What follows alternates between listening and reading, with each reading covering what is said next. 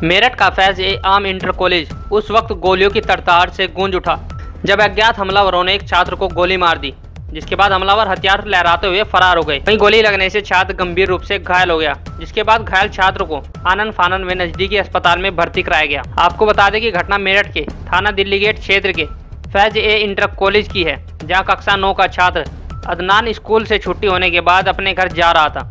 जैसे ही अदनान पार्किंग में पहुँचा तभी पहले से ही घात लगाए अज्ञात हमलावर वहाँ मौजूद थे। जिसके बाद अदनान को टारगेट करते हुए हमलावरों ने फायरिंग शुरू कर दी। इसके बाद पूरे कॉलेज में कोहराम मच गया, जिसके बाद सूचना मिलते ही पुलिस मौके पर पहुँच गई।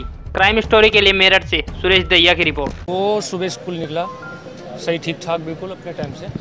और छुट्टी के टाइम अपना उसने साइकिल स्टैंड पे अपने साइकिल उठाई, वहाँ किसी अज्ञात व्यक्ति ने उसके गोली मारी इसमें एक अदनान नाम का छात्र है कक्षा नौ का छात्र है। ये आज ये अपनी साइकिल निकालने जा रहा था। इसको बता रहा कि अचानक मुझे पटाखे की आवाज़ लगी। फिर इसको हॉस्पिटल पहुँचाया गया जहाँ पे डॉक्टरों ने बताया कि इसको गोली लगी है।